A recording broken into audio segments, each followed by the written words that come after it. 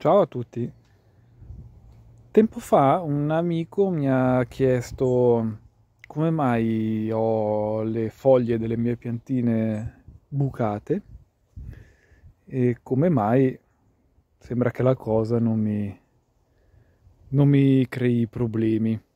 Allora, eh, appunto io poi gli ho risposto che ci sono, ci sono buchi e buchi, nel senso eh, adesso vi faccio vedere questa qua per esempio vedete? Ci sono fori di questo tipo. Di questo tipo che sono praticamente simili. Qua non so se si vede ecco uno anche qui. E poi questo. E praticamente quasi tutte le mie piantine hanno questo problema. Vedete qua. E altre. Qui c'è un po' un casino perché ormai col lavoro non riesco più a, a seguirle come meriterebbero. Però siamo anche alla fine della, della stagione questo quindi va bene anche così ho raccolto veramente tantissimo e sono soddisfatto. Qua. Qua. Ecco allora io non mi preoccupo di queste di questi buchi di questo tipo di buchi per una semplicissima ragione.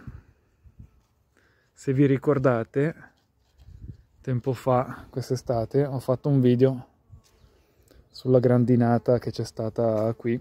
Praticamente queste qui hanno subito tutte eh, una grandinata, eh, pur avendo le, le piante sotto questo piccolo tetto che è il balcone della casa, pur avendole qui, la grandine arrivava da là e c'era un vento fortissimo, praticamente grandinava quasi orizzontalmente e quindi le prime piante che erano qui, qui davanti sono state massacrate co come mitragliate, ecco, come se gli avessero sparato.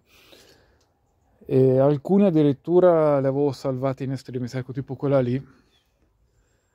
Quella lì si era spezzata in due completamente. E allora, la storia di questa qua è un po'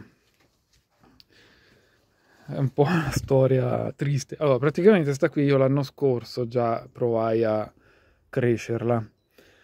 E non mi ricordo che, come si chiama.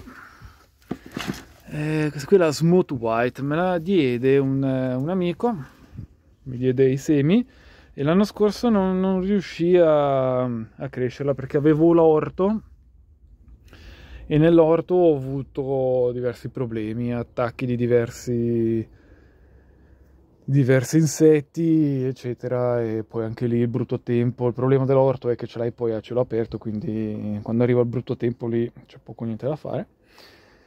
E quindi non riuscii a coltivarla. Quest'anno ce l'ho fatta, però è arrivata la grandine e me l'ha quasi uccisa. Ce l'ha fatta riprendersi, aveva fatto diversi peperoncini che poi sono stati attaccati tutti dalle cimici ed erano tutti da buttare. E li avevo tenuti per fare un video per farvi vedere che cosa succede quando arriva la cimice, però ehm, mm, non lo so, mm, sono andati persi e è andata così. Comunque niente, la cimice ha un, ha un, un, un ago davanti, come, come, una, come una proboscite come le zanzare praticamente. Lei arriva e brucia, e brucia e buca i peperoncini e poi succhia, succhia la linfa, eccetera, però eh, inietta anche qualcosa, probabilmente la sua saliva o qualcosa che, che va a creare una specie di cancrena in quella zona in cui buca. Il fatto è che sta qui non è che si accontenta e dice ok, cioè, ci sono tipo qua 10 peperoncini, no, ne piglio uno e me lo, piano piano lo buco tutto, me lo mangio tutto. No, buca uno, poi va sull'altro, buca l'altro, poi va sull'altro, buca l'altro e così te li rovina tutti. Ecco, quello lì aveva fatto, ci avevo fatto a tirar su 5 peperoncini, me li ha, me li ha seccati, vabbè, quindi vuol dire che io sono destinato a non, a non assaggiare mai quel, quel peperoncino lì, vabbè. Ehm, ok, eh, dunque, quindi i, la maggior parte di, delle foglie rovinate che ho io sulle mie piante sono rovinate a causa della grandine. Non è un problema perché come potete vedere le foglie, pur avendola subita quest'estate, la grandine sono lì, stanno bene, c'è il buco, ok, ma alla fine le, le foglie sono, come avevo già spiegato, un pannello solare. Quindi loro stanno lì, fanno, creano la loro fotosintesi e anche se è bucata, tagliata, spezzata, eh, eccetera, ci sarà sempre una parte che la fotosintesi continua a farla e quindi va bene, lasciatele. Se sono brutte, se non vi piacciono, qui stiamo parlando di piante in casa, logicamente c'è una pianta eh, con la foglia che, che ha la punta rotta via così, non vi piace? Toglietela, se ci sono tante foglie non è un problema, la pianta non, non, è che ne soffre, la togliete e la pianta è più bella da vedere.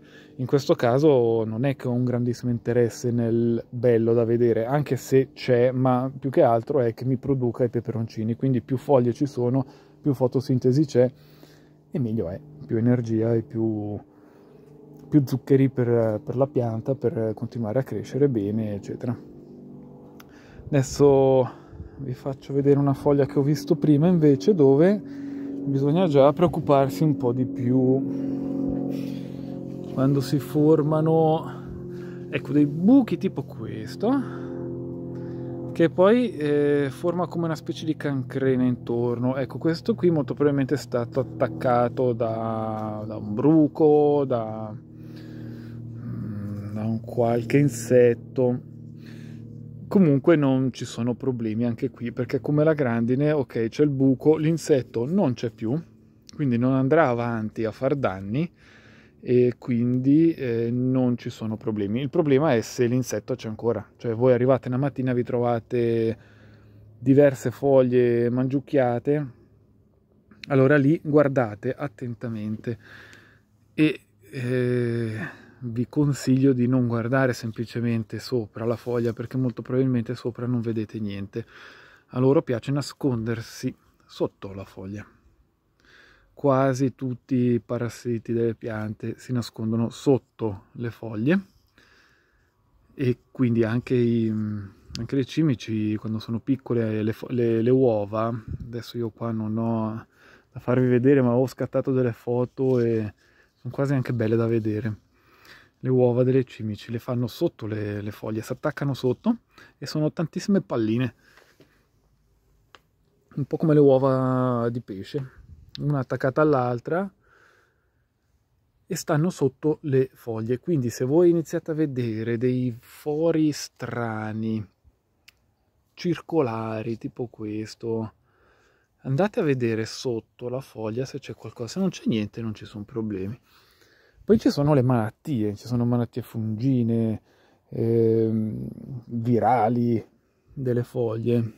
E allora lì dopo iniziano i problemi perché lì se, se avete una pianta come in questo caso abbiamo una tabasco qui abbiamo un'altra pianta cos'è? Una venezuelan tiger. Che peperoncino che sto aspettando che matura. Ecco vedete che sono praticamente attaccate assieme si toccano. Se la mia tabasco è ammalata ha una virosi gliela attacca pure a questa. No, quindi nel caso in cui vedete una pianta con dei, con dei fori eh, bruciacchiati eh, sulle foglie, eh, adesso io in questo momento mi dispiace non ho un esempio da farvi vedere, ma all'inizio dell'anno ce l'avevo, infatti io avevo separato queste due o tre piante da tutte le altre, poi si sono riprese. E, da sole, non ho, non ho dovuto fare niente, si sono riprese da sole, allora ho potuto rimetterle insieme alle altre. Ehm, comunque ecco fate questo lavoro, se avete dei dubbi separatele dalle altre piante, così andate sul sicuro. Ecco, e da vedere sono come, come questa qua, però in questo caso non è niente di grave, però da vedere sono delle cose così. E ci sono diverse malattie ehm, de, delle, delle, foglie eh, su, di questo tipo poi magari più in là, se vi interessa, farò un video più approfondito proprio solo sulle malattie, lì devo andare a prendere il libro e magari recupero delle foto e faccio un video un, un po' serio, un po' in ordine su, su tutte le malattie delle foglie. Questo lo potremmo fare eh, verso la primavera, così se, mm, se iniziamo insieme a coltivare una pianta, che vi farò vedere video dopo video, partendo dal seme fino alla nostra bella pianta cresciuta ai nostri peperoncini, lì ci sarà il momento in cui momento più adatto per fare un video su, sulle malattie delle foglie. Comunque ecco, nel caso in cui vedete una cosa del genere e avete dei dubbi, eh, ci sono due soluzioni. Una è, anzi, diciamo una soluzione è quella di spostare la pianta da tutte le altre. Il secondo passo da fare è togliere la foglia e portarla da un esperto. Andate in un eh, vivaio, gliela fate vedere e gli dite secondo lei questa qui è una malattia, che tipo di malattia è, cosa posso fare? Allontano le piante, poi gli dovete spiegare che voi coltivate peperoncini, che volete mangiarli, non che vi dà un qualche prodotto da spruzzare su che poi rende, eh, avvelena la vostra pianta così che non potete mangiarci i peperoncini, eh? perché anche questo è importante, quando voi andate a comprare dei, delle piante di peperoncino da un vivaio, deve esserci scritto che è commestibile, perché tutti i peperoncini sono commestibili, tutti, solo che molti li vendono soltanto per la loro bellezza, non per essere consumati e quindi buttano su dei prodotti chimici che poi vanno a compromettere il frutto. Io mi sembra che qualche anno fa ne mangiai un qualcuno così, senza saperlo, che, aveva, che era stato spruzzato, molto probabilmente era stato spruzzato perché l'avevo comprato appunto da uno che vendeva fiori, non gliene fregava niente a questo qui di vendere i frutti, vendeva i fiori. Io comprai il peperoncino che era, se non sbaglio era questo qua.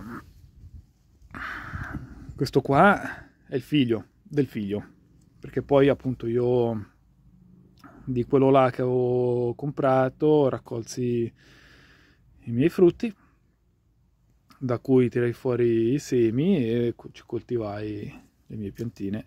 Logicamente adesso sono a posto, eh? una volta che voi tirate fuori i semi, anche se i frutti sono compromessi perché sono stati spruzzati con chissà che prodotto, prendete i vostri semi, li piantate giù e la pianta che viene su è, è pulita e mangiabile. Ecco. E ehm, in sé non vi succede niente al momento se mangiate un frutto che è stato spruzzato da chissà che prodotto, però logicamente a lungo andare è un po' come il fumare, no? Al momento non vi succede niente, poi dopo qualche anno chissà che succede. Ecco, eh, un'altra cosa, vedete le, le, mie piante come alcune come le sto tenendo malamente. Allora io sinceramente mi dispiace, ma di questa qua non ho un grande interesse a portarla avanti e quindi sto, visto che non ho moltissimo tempo ultimamente, mi sto concentrando soltanto su quelle eh, a cui nutro un certo tipo di interesse. Qua i frutti proprio non mi piacciono. La pianta è bella, ma i frutti non mi piacciono, quindi non ho un interesse nel portarla avanti. A me la pianta mi deve piacere, ma, ma deve essere anche buona. Se la pianta non mi piace come aspetto, ma è buona, io la porto avanti lo stesso per quel motivo, perché i frutti sono buoni, come questa qua. Questa qui è una Goronong, è il chinense che preferisco in assoluto come gusto. Sono quelli gialli, non so se vi ricordate. Questo oltretutto è bellissimo, è giallo e verde, e ha dei colori eccezionali, sta, sta, maturando. La pianta in sé è orrenda, è bruttissima, è, è tutta storpia, però fa dei frutti buonissimi e io continuerò a coltivarla per questo motivo. Questa è stupenda questa è la Orozco è fantastica. Infatti adesso ho preso dei frutti belli maturi da cui toglierò i miei semini e l'anno prossimo continuerò a coltivarla e niente qua era un po' ecco mm, un video riguardante le foglie. Però adesso vi sto facendo vedere anche un po' in che stato sono alcune mie piante. Questa qui è una delusione totale una lemon drop. Frutti bellissimi, gialli, stile proprio limoni, quando, quando sono ancora in fase di maturazione, beh, tipo questo, sembra un limone. Eh, però io l'ho mangiata ed era molto piccante. Questa qua non so perché è venuta su poco piccante, molto probabilmente un, eh, deve essere stato un incrocio, deve essere che, che si è ibridata con, con qualcosa e sono quasi per niente piccanti. Non mi piacciono, quindi io questa non la porto avanti. Qua idem, stessa cosa, abbiamo la fish che non non mi dice niente sta pianta. A parte che sta qui era già, era, questa qui era ammalata, aveva qualcosa che non andava sta pianta, non so cosa, ma non si era sviluppata come doveva, aveva dei problemi alle foglie. Non gli sto dando più acqua perché adesso io tra poco la aspetto che secca, poi la taglio su e la butto nel compostaggio e basta, finita lì.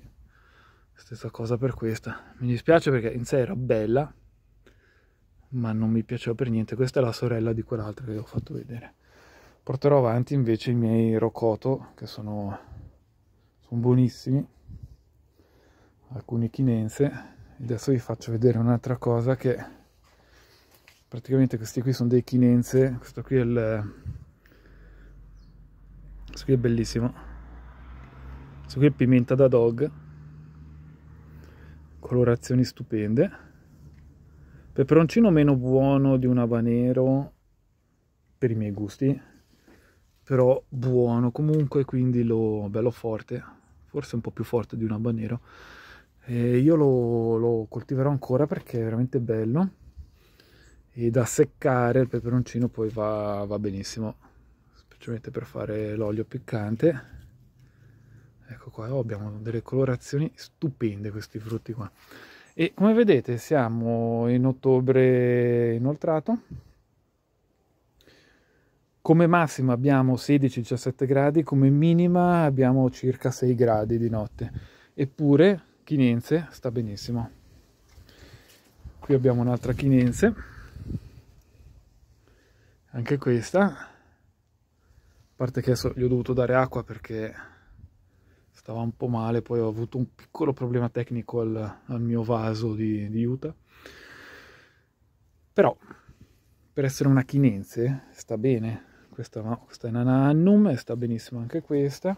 Qui abbiamo un'altra chinense che è quasi alta come me, sta benissimo, sta facendo maturare gli ultimi frutti. È una Kabaka Roxa, è stupenda, fantastica, buonissima. Quindi abbiamo una, guardate, è alta come me. Anzi, addirittura è forse un centimetro più alta di me questa. 1,80 eh, chinenza anche questa? Guardate sta, sta benissimo. Sta benissimo. Eppure abbiamo delle temperature quasi proibitive per i peperoncini. Questa anche sta benissimo anche questa è una chinense. Mentre che abbiamo un gatto. Abbiamo eh,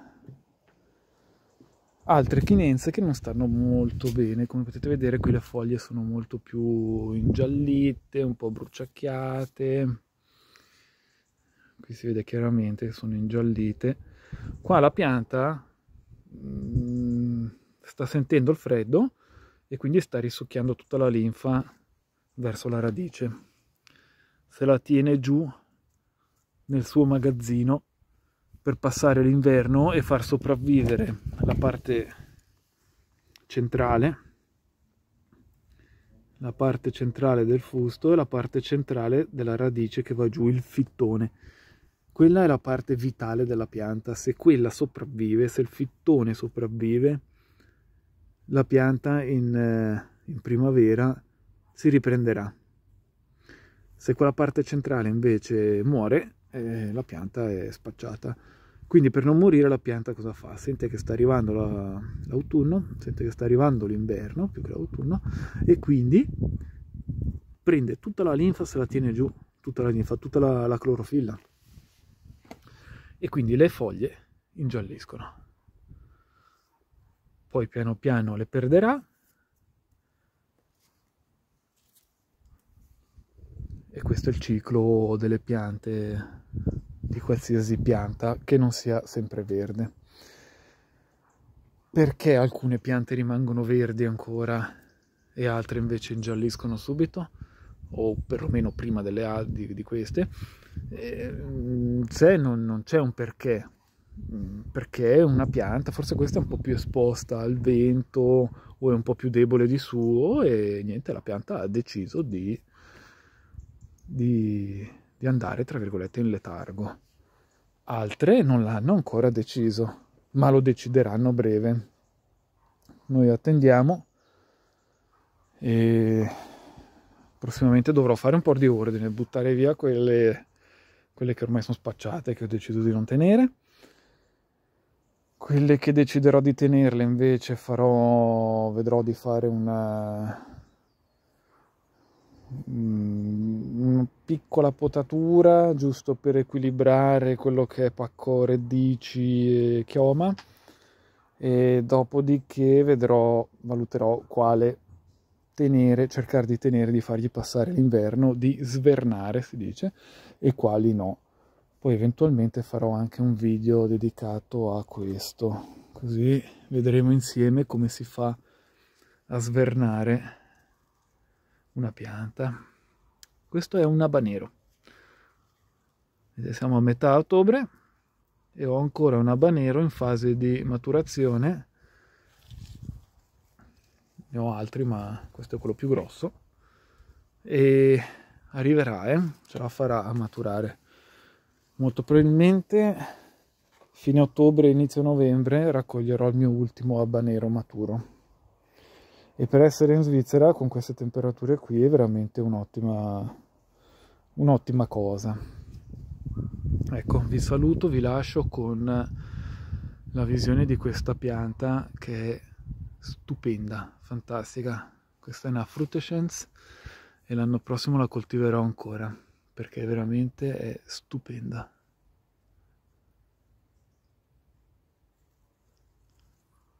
Forse questo è l'unico caso in cui ancora non ho assaggiato i frutti. Non so se sono buoni o no, ma è talmente bella che me la coltiverò lo stesso.